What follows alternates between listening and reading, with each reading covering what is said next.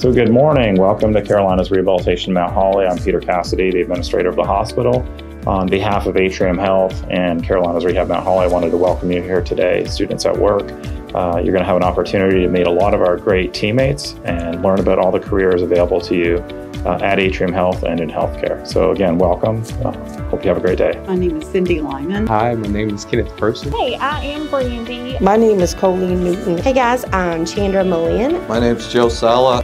My name's Alyssa, and I'm an occupational therapist here at Mount Holly. Hi, good morning. My name is Colina, and I'm one of the rehab assistants here at CR Mount Holly. So, my role as the administrator is to make sure that we're achieving our mission of um, improving health, elevating hope, and advancing healing for all. And uh, we're a rehabilitation hospital, so our primary mission is to help people recover um, and regain their independence after illness or injury. So, one of the programs that I wanted to highlight this morning is something that's called the Rise to Success program.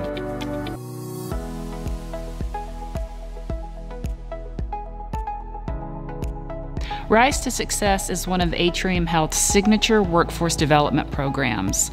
The program is a youth initiative targeting graduating seniors from area high schools and provides a career pathway for outstanding graduates with a 3.0 or higher GPA who are interested in healthcare educations and careers. Rise to Success enables participants to earn a certified Nurse Aide certificate and an associate's degree in a healthcare related discipline from a community college with Atrium Health support.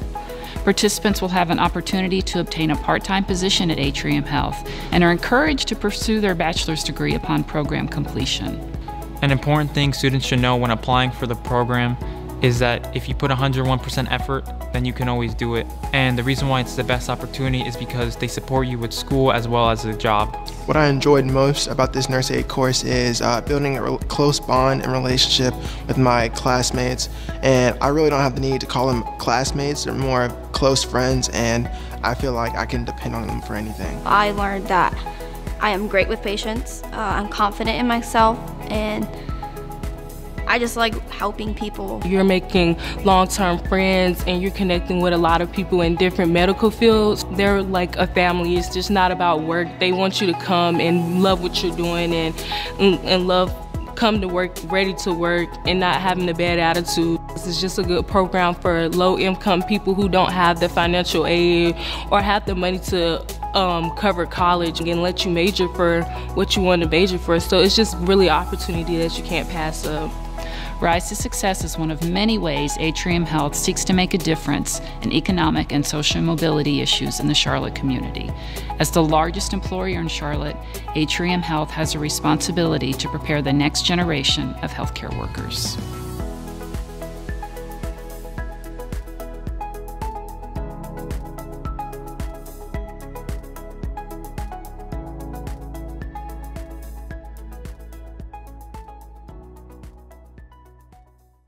I'm the practice manager with the physician clinic here at Carolinas Rehab Mount Holly. I've been here for about seven years. The careers that we have here are um, they're of course the physicians and, and PAs that um, take care of the patients and for them the the education is of course they have to have a bachelor's degree then they have to have a, a doctorate then they have to go through um, internship and then residency we also have front desk folks who check our patients in, check our patients out, make appointments. Um, that requires um, a high school education, and then um, they have to be able to, you know, all of our all of our staff has to be able to function with an electronic medical record, um, and then they also have to be able to manage our our um, systems that for um, scheduling appointments, um, that sort of thing. Um, we, I also manage the radiology and the ultrasound departments here, which are also another alternative for folks. They require a two year degree, and then you go, um, you get um, certified either in radiology or ultrasound. We see patients when they're discharged from the inpatient unit, whether they've had a stroke, whether they've had a spinal cord injury, um, maybe they were just um, had maybe they had COVID and, and are what we call debilitated. They just need, don't have the energy and the ability to function. Um, so we see them in the clinic to see, make sure that they're re, they're recovering in the way that we want them to, and the way that they want to, um, and then also determine how are they doing with therapy. Do they need some more physical therapy, occupational therapy, or speech therapy? And if they do, the doctors will order that.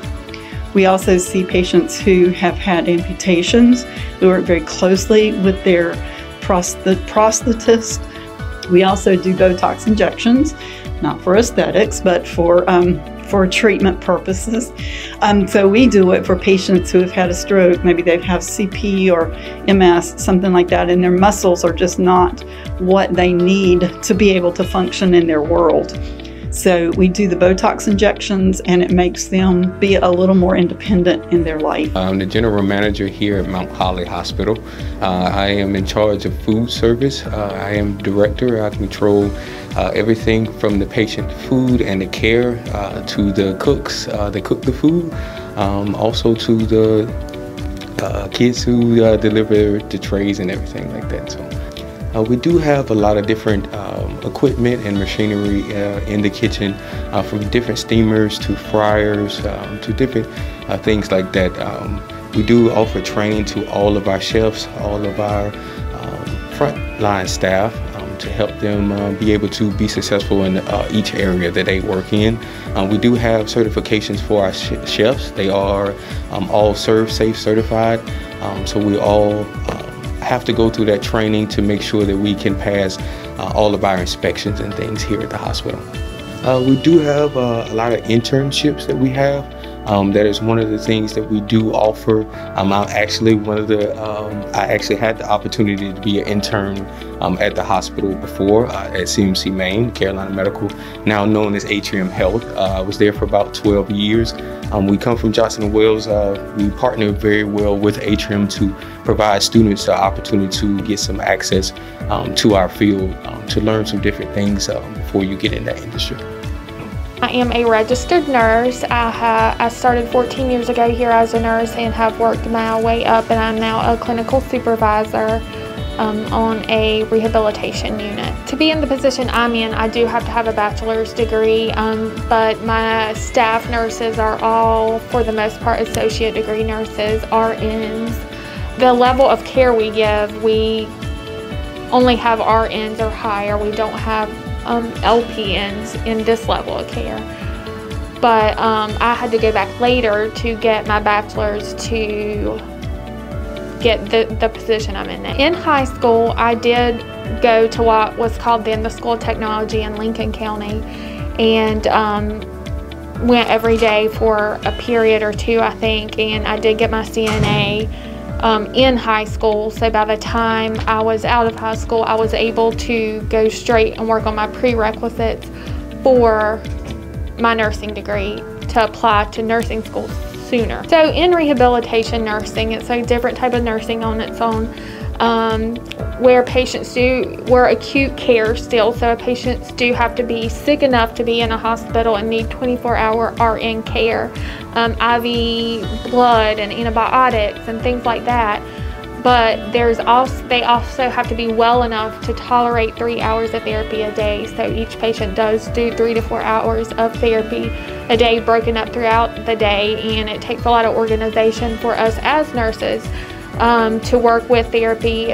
Huge team approach to medicate to talk back and forth about what's going on with the patient. They're having these symptoms or, you know, didn't sleep well last night, anything like that. I work for Mount Holly Rehab.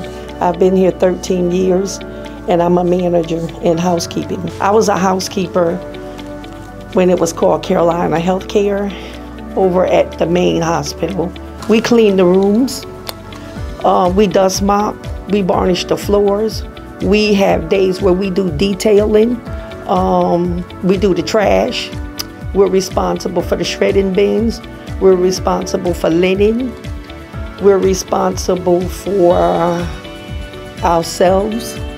We're responsible for the patients, making sure we provide excellent service and are keeping their rooms clean. I am the Senior Administrative Assistant here um, to Peter Cassidy. He's the Vice President of Carolina's Rehab. I have worked here, this is my second year. Um, I have a bachelor's degree in psychology. Um, and I'm working towards getting my master's degree in health administration. To be an administrative assistant, you do not need to have a bachelor's degree. Uh, it is re recommended that you have an associate's degree, uh, and a bachelor's degree is, is great, but a high school diploma is required for my position. Um, you do need healthcare experience to be a senior administrative assistant. I'm the Rad Tech at Carolina Rehab Mount Holly here. My duties as an x-ray tech include take, uh, processing x-rays that the doctors order. Um, I follow them up with all the doctors that work here. Uh, I take care of the inpatients and I take care of outpatients from the clinic up front. Uh, to become an x-ray tech, I had to go to a two-year school program. I did that up at New York after I retired from the New York City Police Department. There's like four different fields of radiology. They include general x-ray, ultrasound, CAT scan, and MRI. Each one you need a separate program for to do. So I stay under just doing general x-ray. So, as an occupational therapist, I'm part of the therapy team here. We work on getting patients back to being home safely, we work on things to make them more independent, make them stronger after being in the hospital. Um, some things, some diagnoses that we see are patients that have had strokes, they've fallen, they've had infections or heart attacks. So, we really focus with the patient to reach their goals and to get them home as soon as we can. Um, so for occupational therapy, it's a uh, you have to have a master's degree to have um, a master's degree or doctorate degree um, for this profession. Um, you have to take a bunch of prerequisite classes in college. So for me, I was an exercise science major and I took a lot of anatomy, a lot of physics and chemistry classes. And then I went to a graduate school and learned very specific things for this profession. So my job as a rehab assistant or rehab tech, there are a lot of names for it, basically to help assist Alyssa, um, one of the OTs or physical therapists with help with plus twos if they need help with chair follow, um, help set the equipment up for therapy. Um, they let them know ahead of time, hey, I need a plus two with this, I need this equipment. So we go around and just get everything started to help make their day easy. That's the best way to describe it. Um, we do keep things clean after each treatment, keep everything organized, um, set up the wheelchairs, putties, you name it, that's what we do. So we just kind of help make the therapist's day easier for them. Um, for our schooling, yes, um, I went to Penn Foster, which is an online course, and that basically opens up and talks about what each role of a physical therapist, occupational therapist, and speech therapist does. And I did get training um, outpatient. So you do a lot of hands-on training, learning with transfers, learning the muscles, lower extremity exercise, and upper extremity exercise. And here at Mount Holly, we work as a team with a lot of different therapists. So with the techs, there's and the occupational therapists, there's also physical therapists and speech therapists, which Kalina mentioned. Um, physical therapists, they work on a lot of mobility um, with the patients, and their education is they go to high school and then college, and then it's a doctorate degree after that, which is an additional three years after college. Um, speech therapists, they work on if a patient has speech deficits or swallowing or to help with their brain because a lot of times with the patients we have there their brain's affected so they work on a lot of cognition and they go to high school college and then two extra years so we're to do a little demonstration of the patients that I see and kind of the intervention strategies that I like to use. So Coco here is to uh, represent someone that had hip surgery and one of the things that you can't do after hip surgery is bend your hip past 90. The hip needs to heal and it's you don't want to you know hurt anything. A lot of surgeons are really specific on that. But, you know, Coco wants to take off her shoes and show you her awesome socks that she has underneath.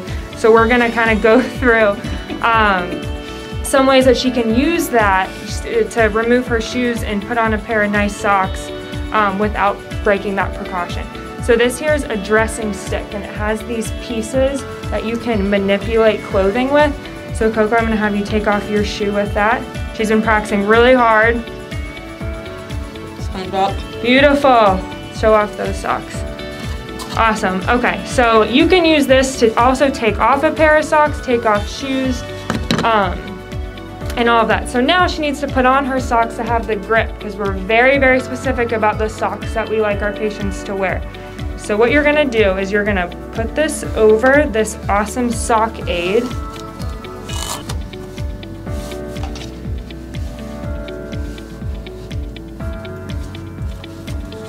Okay, you're gonna slip it right in like a shoe. This has to be on the back because that's the point of the sock is to have the grips on the bottom. And then you just pull it up.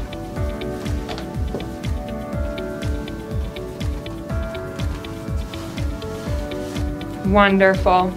Look at that.